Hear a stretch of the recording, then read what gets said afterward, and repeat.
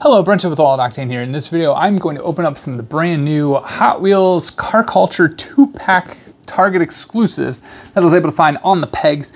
Yes, I am missing the Lamborghini set. I am kind of bummed about that. I have not been able to find it, but I am gonna go ahead and open these ones for you guys. That way, at least I've got something because these are pretty cool. I do like uh, these two packs. I had these the sneak peek at some five packs coming up.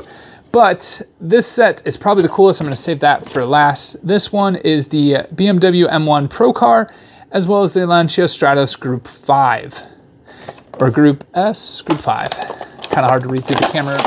Still working on the lighting, still working on all the audio, still trying to get a new getup since I've moved.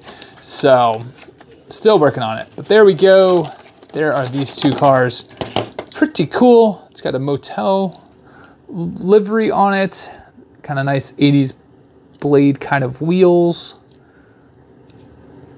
Really great tampo work. They never hold back on those. BMW. The M1 is definitely a cool car, super iconic. It's nice to see it in some race livery. Then we've got the Lancia Stratos Group S with a classic Lancia livery. Italian for sure. I like the red. Oh, that deep dish wheel is sweet.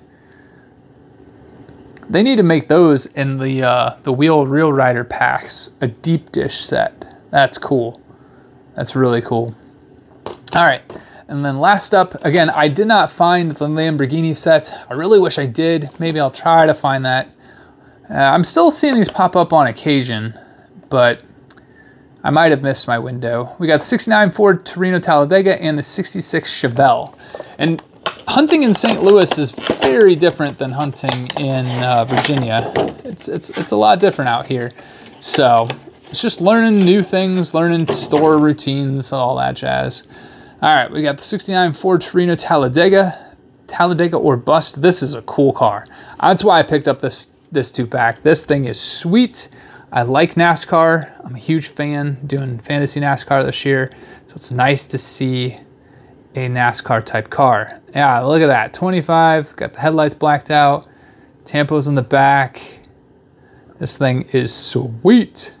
427, 427 cubic inches. And then you have to have their competitor, which is Chevy. So you got the 66 Chevelle in the 86 livery, Bubba's bearings, Got some Goodyear tires on there. 427 cubic inches as well. This thing is epic. Great tampo work. 86. Bell, Edelbrock, Hurst. Just a bunch of good, good sponsors on there, including Bubba's Bearings. So there you have it. There is the Target exclusive two packs. Just two Target exclusive two packs uh, I didn't find the third one. Let me know which one's your favorite out of this bunch. Until the next one, have a good one.